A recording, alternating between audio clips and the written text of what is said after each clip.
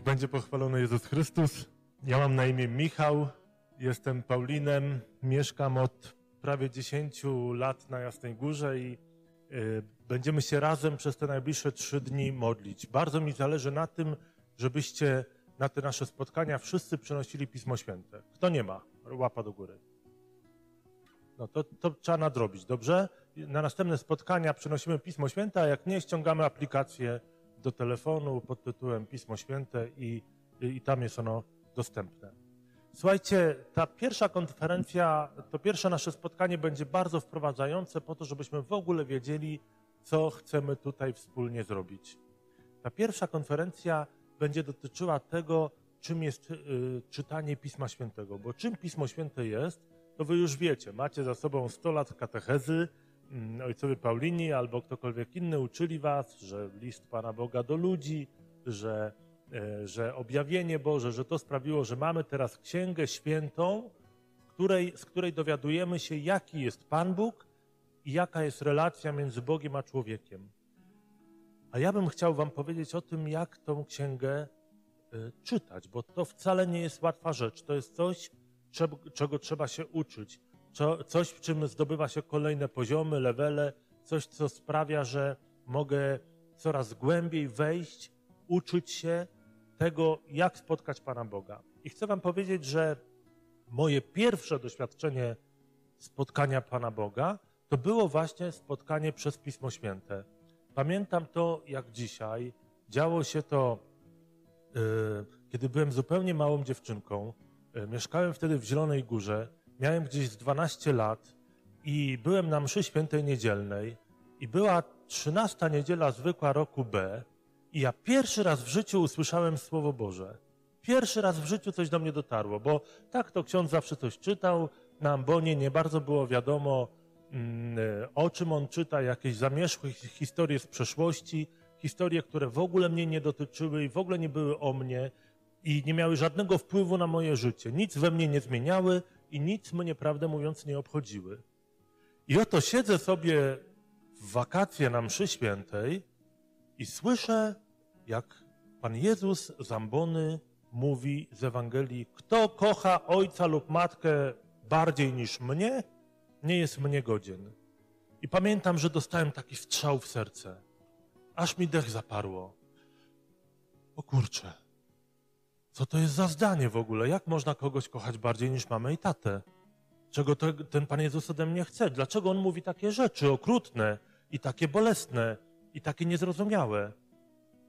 Ale pamiętam, że to zdanie było tak przeszywające, tak, tak we mnie działało, tak, tak zaczęło pracować we mnie, że jak widzicie, do dzisiaj dokładnie pamiętam tą emocję i dokładnie pamiętam, że to zdanie właściwie wprowadziło mnie na wszystkie ścieżki, którymi potem szedłem.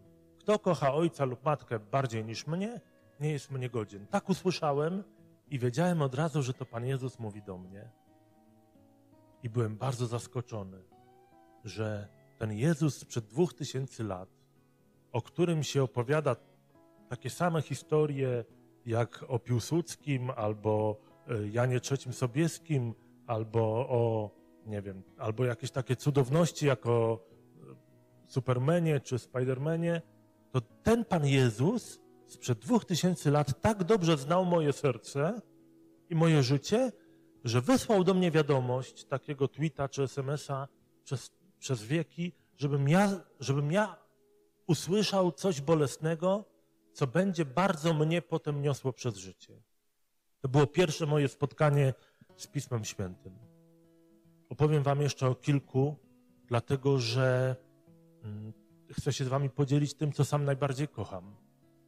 Kolejne moje bardzo silne spotkanie z Pismem Świętym nastąpiło dopiero wtedy, kiedy wstąpiłem do paulińskiego nowicjatu. I to było dosłownie chyba w pierwszy czy drugi dzień nowicjatu. Ojciec magister zgromadził nas w kaplicy o nieludzkiej porze, bo to chyba było za pięć szósta, Mm, dla mnie to jest stanowczo w ogóle niemożliwe wstawać na takie godziny, ale za pięć szósta zgromadził nas w kaplicy, powiedział od dzisiaj przez całą resztę życia zgodnie z konstytucjami zakonu będziecie codziennie rano przez pół godziny czytali Pismo Święte. I pode mną się nogi ugięły. Ja mam o szóstej rano przez pół godziny czytać e, te zamierzchłe historie i, i po co, i dlaczego o tej porze, i co mam mi to dać, e, byłem przerażony. No i coś tam nas, co prawda, próbowali wprowadzić w to czytanie Pisma Świętego, ale to było wszystko takie jakieś nie, niejasne. No więc pomyślałem sobie, że najlepiej będzie zacząć od Ewangelii. No i czytam pierwszy rozdział, drugi rozdział. Nic tam nie, nie działa, nic nie ciekawi.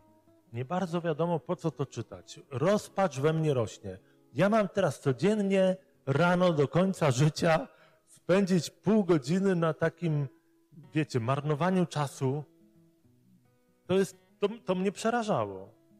Czytam i czytam, coraz bardziej zrozpaczony, już właściwie gotowy pójść do swojego pokoju, spakować się i powiedzieć, a sami se czytajcie, nie? Ja, ja jadę do mamusi. Ale, ale nie, wiecie, jeszcze troszkę, jeszcze jeden dzień i nagle po kilku dniach natrafiłem na taki moment, e, jak Pan Jezus naucza w Kafarnaum, a pewien człowiek, który był całkowicie sparaliżowany, leżący na swoim łóżku od bardzo wielu lat, miał na szczęście czterech przyjaciół.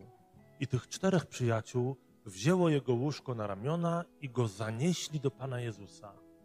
I ja sobie pomyślałem, a ten fragment jest o mnie. Ja będę tym, co tak nosi ludzi do Pana Jezusa. Takim dobrym Samarytaninem, mądrym e, e, e, księdzem, który tak będzie ofiarnie ludzi do Pana Jezusa zanosił, żeby Pan Jezus mógł tych wszystkich paralityków wreszcie pouzdrawiać. I pomyślałem, no tak, ten fragment to ja mogę czytać. I tak się zakochałem w tej wizji tego, że ja będę tych ludzi nosił do Pana Jezusa, że potem przez całą resztę nowicjatu, czyli przez kolejne 360 dni, dzień w dzień czytałem ten jeden fragment. 360 razy codziennie przez cały nowicjat czytałem ten malutki fragmencik i okazało się, że to wcale nie jest tak, że ja jestem e, zdrowym, silnym, sprawnym, mądrym, który teraz będzie łaskawie ludzi nosił do Jezusa.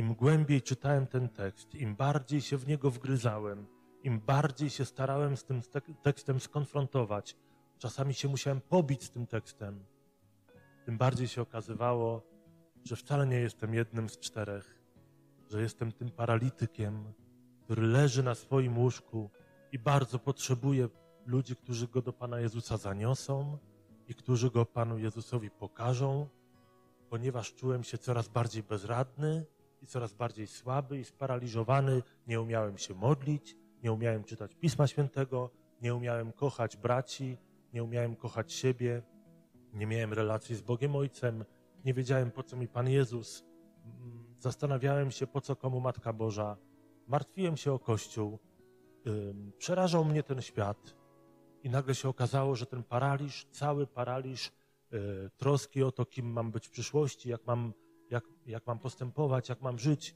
y, jak mam, jakie mam mieć relacje z ludźmi, to wszystko było głęboko we mnie. I Pan Jezus dał mi fragment, w którym złapał mnie jak na wędkę, po to, żebym e, na początku pysznie myślał, że to ja będę tym sprawnym noszącym, a potem się okazało, że jestem tym, który jest e, paralitykiem. Ten fragment do dzisiaj mnie bardzo, bardzo zastanawia i, e, i, i wzrusza bardzo. Dlatego, że wyobraźcie sobie takiego człowieka, który jest całkowicie sparaliżowany. Naprawdę niewiele może. Nie może ruszyć ręką ani nogą. E, czasami paraliż wygląda tak, że człowiek ma sparaliżowane nawet e, mięśnie twarzy. Nic nie może powiedzieć. Nie może nawet zamknąć ani otworzyć oczu, bo ma sparaliżowane powieki. Tak bywa. I wyobraźcie sobie tego człowieka, który od bardzo wielu lat leży w swoim ciemnym pomieszczeniu, Kafarnaum, gdzieś na końcu świata. I nikt mu nie może pomóc. I ten człowiek nagle odkrywa, że czterech ludzi przyszło do niego do mieszkania, wzięli jego łoże i wynieśli w środku dnia na ulicę. I wyobraźcie sobie, że teraz my wyszlibyśmy na, na to słońce, które jest przed kościołem i położylibyśmy się zupełnie twarzą w kierunku słońca. Oczy by nas bardzo bolały, jeżeli nie moglibyśmy ich zamknąć, a nasze źrenice by się zwęziły do minimum, tak żeby do, do środka oka wpadało jak najmniej światła. I ci ludzie niosą tego człowieka, który nawet nie może zamknąć oczu, a słońce bardzo go razi. Niosą go do Jezusa, postanawiają, że go spuszczą z dachu przed jego, przed, przed, przed, przed oblicze Pana Jezusa, a on, ponieważ ma bardzo zwężone źrenice, to im jest niżej, tym bardziej zapada w ciemność. I myśli sobie, moi czterej przyjaciele spuszczają mnie właśnie na dół mojego grobu. Tu się skończy moje życie. Tu jest tak ciemno, ta prostokątna dziura nad, mo nad moją głową się oddala. Ci ludzie na linach wpuszczają mnie tak, jak się spuszcza trumnę, trumnę do, do grobu. Leżę na tym swoim łożu w ciemności, dotknąłem dna i wtedy źrenice tego człowieka się powoli otwierają, bo tak się dzieje z ludzkim okiem, kiedy mm, trafiamy w ciemność. Źrenice sprawiają, że do wnętrza oka dociera coraz więcej światła i im bardziej się te źrenice rozszerzają, tym bardziej jasne się staje, że ten człowiek, który już miał być na dnie grobu, spotkał tam Jezusa, że z tej ciemności wyłoniło się Jego oblicze, Jego piękna i dobra i miłosierna twarz. To moje drugie spotkanie z Pismem Świętym, ważne dla mnie bardzo, ukształtowało moje życie. A potem trafiłem do seminarium i powiem Wam szczerze, że w tym seminarium było mi dosyć źle. Nie lubiłem tego miejsca i nie czułem się tam dobrze. I miałem tam co prawda kilku przyjaciół, ale miałem też kilku wrogów. Bywało mi bardzo trudno. I wtedy e, ojciec duchowny powiedział mi: Nie szukaj pocieszenia ani siły nigdzie indziej, tylko w Piśmie Świętym. I tak spróbowałem zrobić. I natrafiłem na Psalm 91. Jeżeli będziecie mieli ochotę, kiedyś go sobie przeczytajcie, a najlepiej wtedy, kiedy będzie wam bardzo trudno. 91 Psalm, który mówi tak: Nawet gdyby ci, którzy cię nie lubią, wysłali na ciebie całe wojsko, i nawet gdyby napadły cię smoki, i nawet gdyby wszyscy strzelali do ciebie z łuków, i nawet gdybyś musiał przejść przez ogień, to się nie lękaj, bo ja, Pan, ciebie ochronię moimi skrzydłami. Wtedy, jak usłyszałem te słowa, to odkryłem, że mogę być w tym miejscu, w tym seminarium, którym jest mi tak trudno, i mogę być w całym moim życiu całkowicie bezpieczny. I chociażby powiedziało mi to tysiąc ludzi, choćbym miał wokół siebie tysiąc przyjaciół, którzy by mnie głaskali po główce, mówili: Michałku, lubimy Cię, szanujemy, jesteś fajny, yy, czuje się bezpiecznie w naszym towarzystwie, to by tak nie zadziałało. Bo to Bóg powiedział do mnie w 91 psalmie, że jestem dla Niego ważny, że mnie kocha i będzie się o mnie troszczył. I na koniec moje czwarte, wielkie, osobiste spotkanie z Pismem Świętym to 15 rozdział Ewangelii według świętego Łukasza, przypowieść o marnotrawnym synu. Takie, taki tekst, który mam nadzieję, że będziemy od dnia dzisiejszego aż do pojutrza wspólnie rozważać, dlatego że to jest tekst, który bardzo mocno wyraża to, co zapisaliśmy na naszej plakietce. Idź i ja Ciebie nie potępiam. Słowa Pana Jezusa, które skierowane są do tych, którzy już odkryli, że są bardzo niegodni spotkania z Nim, że żyją od grzechu do grzechu, i bardzo potrzebują spotkania z miłosiernym Bogiem. Tak wyglądały moje spotkania z Pismem Świętym, ale mówię to tylko po to, żebyście odkryli i zrozumieli, że ta droga czeka na Was, że to Wy możecie przejść swoją bardzo osobistą, indywidualną drogę spotkania z Jezusem przez, przez Pismo Święte i możecie odkryć, że to Pismo Święte Was uniesie, przeprowadzi jak jakiś dobry duch, jak, jak anioł, jak przewodnik, jak GPS. To jest bardzo dobre porównanie GPS, dlatego że wiecie, jak jest GPS-em, że jak człowiek słyszy skręć w prawo, a skręci w lewo, to wtedy GPS wszystko przelicza, żebyś i tak trafił do celu. Nie? I dokładnie tak jest z Pismem Świętym. Ono nam mówi, jak, jak żyć, co robić ze sobą. Ale zdarza się, że my postępujemy dokładnie odwrotnie. I wtedy e, Bóg nie rezygnuje. Nie mówi, a jak się wybrałeś w lewo, to se teraz jedź w lewo i prosto w przepaść. Nie. Bóg tak nigdy nie mówi. Bóg mówi, ok, wybrałeś w lewo, mam dla ciebie alternatywną trasę, bo wiem, gdzie chcę ciebie doprowadzić. Tak działa Pismo Święte w moim wypadku. Jestem przekonany, że tak może zadziałać e, w was. E, dziś rano o siódmej e, widziałem przez okno, że wszyscy wylegliście z namiotów, żeby czytać Pismo Święte. Bardzo mi się to spodobało, jak żeście pootwierali te Pisma Święte i w ciszy je medytowali. Tak było, prawie tak było. I, i wiem, że to jest coś trudnego. Pamiętam ten mój moment o 6 rano w Leśniowie w nowicjacie, kiedy mnie przeraziło, że mam teraz pół godziny wpatrywać się w obce mi literki. E, więc kilka słów o tym, o co będziemy Was prosili, byście robili codziennie rano przez najbliższe dni. Otóż bardzo dobrze jest wybrać sobie fragment e, Ewangelii, który lubicie, który jest dla Was ważny, albo taki, którego nie lubicie, który Was irytuje, martwi, albo przypadkowy fragment, albo taki fragment, który Wam podpowiedzą ojcowie czy bracia. E, wybrać sobie ten fragment i na początek spróbować go tysiąc razy przeczytać. Tak, widzę Wasze miny. Tysiąc razy przeczytać. E, lekcjo to jest coś bardzo szczególnego, dlatego że w języku polskim mówimy czytać, niezależnie od tego, co czytamy. Czy człowiek czyta SMS-y, czy człowiek czyta konstytucję, czy człowiek czyta e, w toalecie naklejkę od szamponu, czy człowiek czyta e, filozo historię filozofii Tatarkiewicza, czy, czy czyta Pismo Święte, to zawsze mówimy czyta, tak? Ale w, w językach, które są bardziej wysublimowana niż nasz, na każdy rodzaj czytania znaleźlibyśmy inne słowo.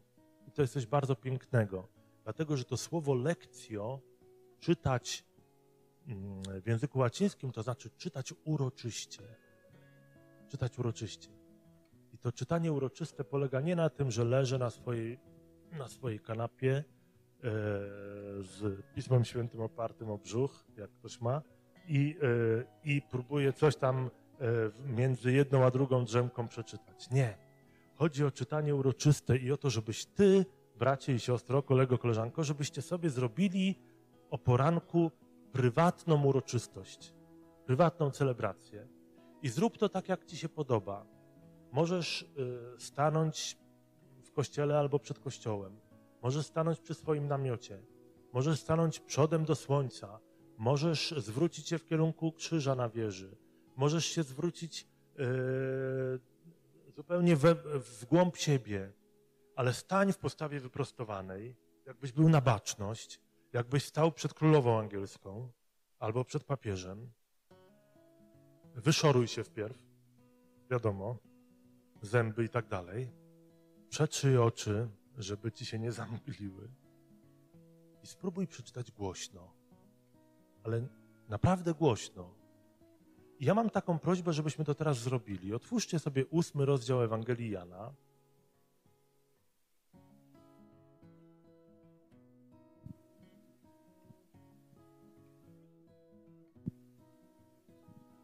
Jak, jak, ktoś miałby problem z tym, nie wiedziałby jak szukać Ewangelii Jana, to zawsze można kogoś obok poprosić albo, albo zgłosić się, przecież pomożemy chętnie to nie, nie, każdy to musi od początku umieć. To są rzeczy niełatwe i, i, i jak ktoś nie umie, to po prostu niech powie i będziemy pomagać. Otwieramy sobie Ewangelię e, świętego Jana, rozdział ósmy i będziemy teraz głośno czytać od wersu pierwszego aż do e, końca wersu jedenastego. To jest opowieść o kobiecie cudzołożnej ta opowieść, która jest głównym tematem naszego tegorocznego spotkania. I chodzi o to, żeby czytać pełnym głosem, w swoim tempie I kiedy to zaczniemy robić, to ja będę do niektórych z Was podchodził z mikrofonem, żeby ten głos, który się z Was wydobywa, usłyszeli także wszyscy jednocześnie czytając w swoim tempie. Chodzi o to, żebyście zobaczyli, że w tym całym hałasie, który powstanie, w, tym całe, w tej całej wielości dźwięków, w tej całej wielości słów, które nastaną, w tej nierównie, nierównomierności, wasz głos jest słyszany przez Boga. Że Bóg słyszy to, co wy mówicie, ale co więcej, że te słowa, które wypowiadacie, staną się częścią wielkiej całości. Zrobimy tak? Spróbujemy? Boi... Kto się boi? Brat Karol się boi, dobrze. Mm, to wstańcie. Żeby dobrze czytać, trzeba szeroko ustawić nogi, żeby się nie chwiać. Czyli rozszerzamy nogi tak, żeby stanąć w postawie ustatkowanej takiej. Ciągamy brzuchy, twarze do przodu, tekst przed oczami i zaczynamy głośno czytać. I w tym pierwszym czytaniu bardzo ważne jest to, żeby znaleźć swój własny rytm i swoje własne tempo czytania. Nie słuchajcie tego, jak czytają inni. Czytajcie po swojemu. To po pierwsze. A po drugie, pozwólcie, żeby te słowa, które Pan Bóg chce, teraz y, w tym tekście się rozjaśniły. Żeby słowa, które Pan Bóg chce Wam teraz dać, żeby one zaczęły promieniować z tego tekstu, żeby się stały jakoś jaśniejsze, jakoś podkreślone, żeby y, bardziej do Was przemówiły. Czytamy. Jezus natomiast udał się na górę oliwną. Cały lud schodził się do niego.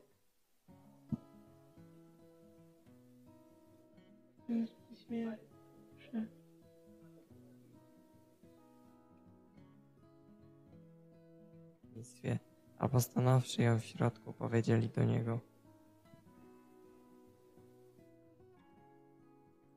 co noc w ubóstwie.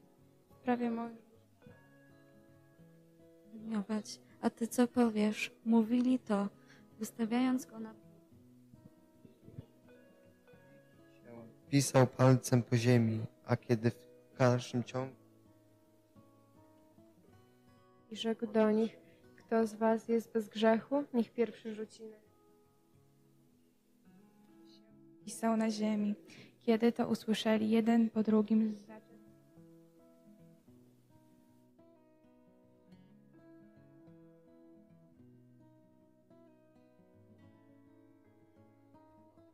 nikt cię nie potępił, a ona odrzekła, Panie, rzekł do niej Jezus, i ja ciebie nie potępiam. Idź, a od tej chwili już nie grzesz.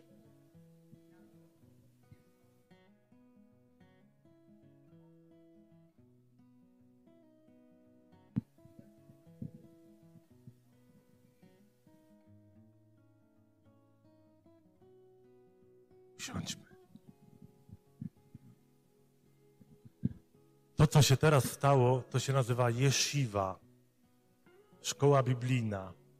Tak robią młodzi Żydzi, którzy przygotowują się do, do swojej barminstwy. Idą e, do wspólnoty chłopców, niestety tylko chłopców, tak robią Żydzi, my jesteśmy fajniejsi.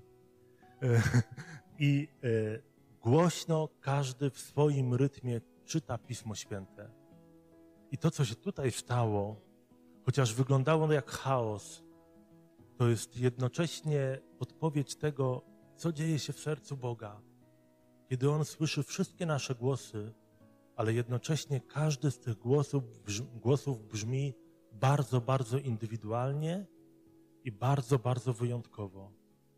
Bóg Ciebie słyszy i bardzo ważne jest to, żeby w tej kakafonii, która powstaje w, w świecie, usłyszeć także swój własny głos. Co musiałeś zrobić, żeby dobrze przeczytać ten fragment? Musiałeś się, musiałaś się na pewnym etapie odciąć od tego, co słyszysz, przestać zwracać uwagę na to, co mówią inni, na którym są etapie, znaleźć swój własny rytm, skoncentrować się na swoim własnym tekście i samemu go odczytać, starając się, żeby jak najmniej z zewnątrz dotarło do Twoich uszu. Prawda? Tak było. Inaczej nie dałoby się tego przeczytać. I to jest bardzo piękny obraz tego, czym jest lekcjo, czytanie Pisma Świętego. Polega na tym, że rozpoczynam uroczystość. Ta uroczystość może się zacząć znakiem krzyża, może się zacząć zapaleniem świeczki, rozpaleniem kadzidła albo odsłonięciem, odsłonięciem rolet, żeby, żeby słońce wpadało do mojego pokoju. Może się zacząć czymś ważnym, zamknięciem drzwi od swojej izdebki, żeby być przez chwilę zupełnie samym. Czasami ta uroczystość polega na wyciszeniu telefonu i zamknięciu laptopa, żeby przez chwilę nikt do mnie nie dzwonił i żadne inne dźwięki do mnie nie docierały. I polega na tym, żeby tak rozpoczynając, pomyśleć sobie, stoję teraz w obecności Bożej i chcę się, e, chcę się posłużyć Jego słowem, żeby to Jego słowo zaczęło we mnie działać. Wiecie, co mówi Ewa Chodakowska? Ewa Chodakowska mówi, że jesteś tym, co jesz. Prawda? Tak mówi. Wiem, bo oglądam. Ale tylko oglądam, nic więcej nie robię. I to jest święta prawda. Człowiek jest tym, co dopuszcza do swojego wnętrza. I zobaczcie, że dopuszczamy do swojego wnętrza mnóstwo różnych informacji. Naukowcy mówią, że żyjemy w świecie, w którym y, jesteśmy, to takie, takie trudne słowo, przebodźcowani. To znaczy, że mamy za dużo bodźców, nie? I te bodźce docierają do, nas z każdej strony. Mama i tata czegoś chcą, rodzice czegoś chcą, y, kumple czegoś chcą, szkoła czegoś chce, telewizor czegoś od nas chce, Facebook czegoś od nas chce, Insta czegoś chce. Każdy czegoś chce i czegoś oczekuje, jakiejś reakcji, jakiegoś zachowania. Mm, Chcą, żeby ich lajkować, chcą, żeby obserwować, chcą, żeby mm, poświęcać czas. I okazuje się, że tych bodźców w Twoim życiu jest coraz więcej, nie? I y, wszyscy, wszystkie te bodźce strawić, to jest prawdziwa trudność. I jak do tych bodźców dodamy jeszcze jeden, to znaczy głos Boga, to się okaże, że on zupełnie zniknie. Tymczasem e, taka uroczystość na początek dnia, czy na koniec, jak wolisz, która polega na czytaniu Słowa Bożego, ma polegać także na tym, że w tym momencie postaram się, żeby dotarł do mnie ten jeden bodziec. I staram się tym, co będę czytał, nakarmić, żeby potem to, czym się nakarmiłem, ze mnie prom- promieniowało. Nie? Człowiek, jak się nakarmi chlebem, to potem jest dobry jak chleb. Jak się człowiek nakarmi śmieciami, to potem z jego ust wypływają śmieci, jego wzrok jest śmieciowy, jego zachowania są śmieciowe. Wiecie dobrze, jak trudno jest, nie daj Boże, normalnie żyć, jak człowiek obejrzy rzeczy, których nigdy więcej, nigdy wcześniej, nie, w ogóle nigdy nie powinien był oglądać, nie? Niestety problem polega na tym, że tego, co się zobaczyło, już się nie da odzobaczyć. Nie? I my oglądamy te przeróżne filmy, seriale, strony, czasami bardzo, bardzo złe strony. Y, sycimy wzrok rzeczami, których naprawdę nigdy nie powinniśmy byli widzieć. I niestety nie uda nam się ich odzobaczyć. I dlatego potrzebujemy odtrucia. Potrzebujemy odtruć się od tego wszystkiego, co jest, co jest marnością, co jest bardzo światowe, marne, jest pyłem. Jest taki piękny dialog czternasty napisany przez Jana Kasjana, który miał przyjaciela o imieniu Germanikus. I ten Germanikus pisze do Jana Kasjana, słuchaj, co mam robić, bo bywałem w takich miejscach, na wojnach i w domach publicznych, że widziałem rzeczy, których nigdy nie powinienem był widzieć. I teraz się czuję zatruty. I Jan Kasjan odpowiada, jedyna nadzieja jest w tym, że teraz swój wzrok skupisz na e, literach Pisma Świętego. Zobaczcie, że przeczytaliśmy właśnie fragment, który mm, gdyby rzeczywiście trafił do naszych serc, to powinien nas głęboko oburzyć. I, i powinien nas głęboko zirytować. Powinien sprawić, że wszyscy tutaj by powiedzieli: Ja protestuję, tak to być nie będzie. Wiecie, że w pierwszym kościele, w ko- w kościele pierwszych dwóch czy trzech wieków, ten fragment był zakazany do czytania? Apostołowie i ich bezpośredni uczniowie byli tak poruszeni tym fragmentem i tak zgorszeni zachowaniem Pana Jezusa, że wycięli ten fragment z Pisma Świętego. Postanowili, że Kościół go nie będzie czytał. bo jest za bardzo obraźliwy. Dopiero gdzieś pod koniec III wieku postanowiono, że on musi wrócić do, musi wrócić do, do Pisma Świętego, skoro Jezus tak zrobił. Ale już nie bardzo wiedzieli, gdzie ten fragment umieścić, więc prawdę mówiąc umieścili go trochę przypadkowo w tym ósmym rozdziale Ewangelii według świętego Jana.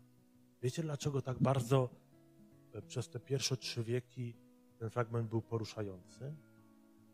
Streszczę wam ten fragment. Oto pewna kobieta e, albo była prostytutką, albo zdradzała mężczyznę, z, z którym była w małżeństwie.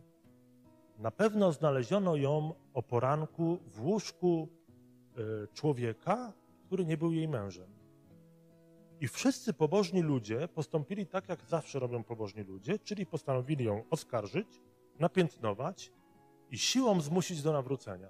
Więc ją chwycili za włosy, pewnie nie, nie pozwolili jej się ubrać, zabrali ją siłą do świątyni jerozolimskiej i powiedzieli: Mamy tam takiego jednego, który mówi, że jest bardzo pobożny, i on cię osądzi.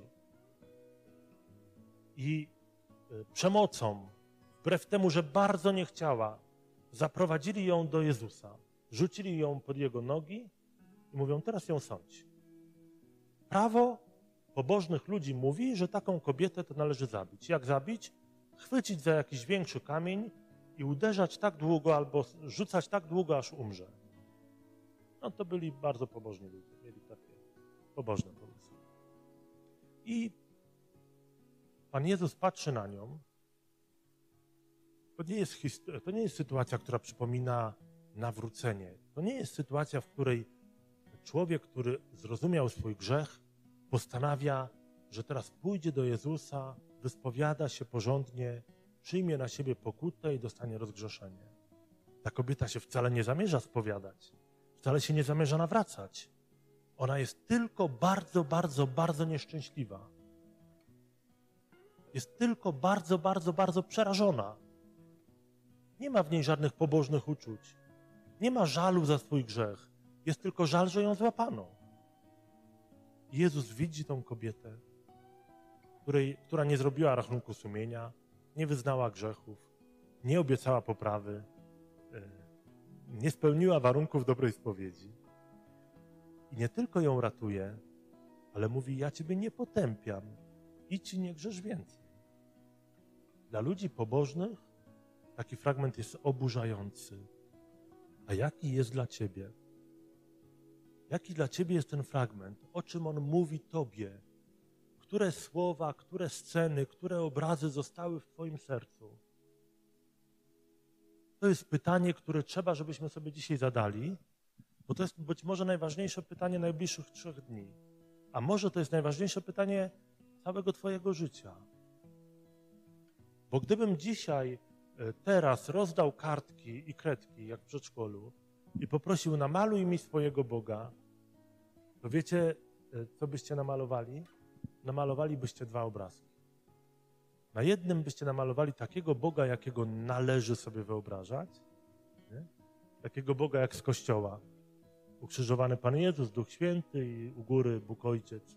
Pewnie takiego Boga byśmy sobie próbowali namalować. A na drugim, bardziej szczerym obrazku byłaby prawdziwa wizja, kim dla Ciebie jest Pan Bóg.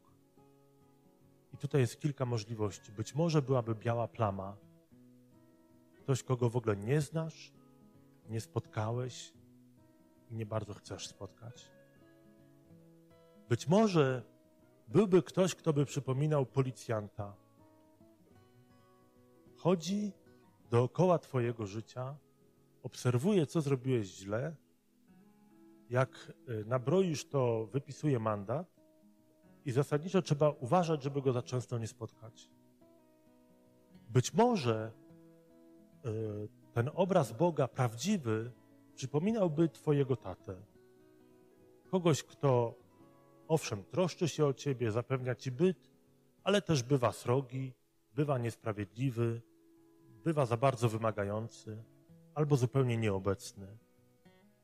Być może ten prawdziwy obraz Boga, jaki y, powstałby na Twoim obrazku, to byłby taki Bóg, który przypomina buchaltera, kogoś, kto siedzi przy komputerze z e, arkuszem w Excelu i zlicza w słupki wszystkie twoje grzechy, bo chce mieć argumenty, dla których cię nie zbawi. I ten Bóg zamierza zebrać wszystkie paragrafy w słupki po to, żeby jak cię spotka na sądzie ostatecznym, to żeby cię wysłać do piekła. I wszystko to są wizje nieprawdziwe. To są wizje, które nie mają nic wspólnego z rzeczywistością. Co można zrobić, żeby odkryć, jaki Bóg jest naprawdę? Co można zrobić, żeby odkryć, jak bardzo Bóg mnie kocha? Co można zrobić, żeby odkryć, że, że, że jest miłosierny? Czytać Pismo Święte. Wołać do Boga przez czytanie Pisma Świętego. Wiecie, na zakończenie opowiem wam taką historię, miałem mówić 30 minut. E, Na zakończenie opowiem wam taką historię, która mi tłumaczy, czym jest czytanie Pisma Świętego. Byłem kiedyś w Jerozolimie, mieszkałem w domu polskim, to jest taki dom prowadzony przez siostry Elżbietanki i do e, ogrodu w tym domu przylega willa bardzo pobożnych, ortodoksyjnych i dosyć bogatych Żydów. I siedziałem sobie w tym naszym ogrodzie, e, próbowałem się modlić i zobaczyłem taką scenę. Otóż w tym domu pobożnych, ortodoksyjnych Żydów na trzecim piętrze był balkon. I na ten balkon wyszedł taki malutki chłopczyk, kilkuletni. Przesympatyczny był. Miał pejsiki, miał małą jarmułkę. e, Był takim, wiecie, bardzo fajnym chłopcem, że jak się patrzy na małe dzieci, to człowiek, człowiekowi tak miękko w sercu i sympatycznie, nie? Bo, bo wszyscy po prostu lubimy taki obraz miłych, sympatycznych dzieciaków. I ten dzieciak wyszedł na balkon i e, przeciąg zamknął za nim drzwi, te balkonowe drzwi. On przez chwilę się rozglądał, potem spróbował te drzwi otworzyć, ale okazało się, że są e, za ciężkie, więc się poważnie wystraszył, zobaczył, że jest wysoko na tym balkonie i że jest zupełnie sam. Zaczął płakać, uderzać piąstkami w te drzwi i zaczął wołać Abba! Abba! Abba! I tata, jak go usłyszał, natychmiast przybiegł, otworzył te drzwi balkonowe, przytulił go. Ten mały, który jeszcze chwilę temu płakał, już był zachwycony, już był uśmiechnięty i czuł się bezpiecznie. To jest dla mnie obraz tego, czym jest czytanie Pisma Świętego. Jeżeli jest w Twoim życiu, albo będzie, albo był taki moment, że się czujesz jak mały chłopczyk zamknięty na balkonie, że się czujesz w niebezpieczeństwie, osamotniony, zagrożony, nieszczęśliwy, skrzywdzony, e, bezbronny, albo taki, że nie bardzo wiadomo co dalej, to zawsze możesz wołać to proste słowo Abba, którym do Boga mówił Pan Jezus. To słowo znaczy tatusiu. Tatusiu. E, Tego się będziemy uczyć od Jezusa w Piśmie Świętym. Będziemy się uczyli mówić do Boga nie Panie nasz Boże, nie Królu tronujący, nie Sędzio sprawiedliwy. Będziemy mówić do Boga tatusiu. I to się może zdarzyć tylko przez czytanie Pisma Świętego, czyli przez spotykanie Jezusa. To była e, lekcja wprowadzająca. Przepraszam, że, taka, że taka długa. W przyszłości będę mówił krócej. A teraz e, na zakończenie pomodlimy się jeszcze do Ducha Świętego, żeby to wszystko, co tu usłyszeliśmy, naprawdę było wprost z Niego i żeby nas do Niego prowadziło.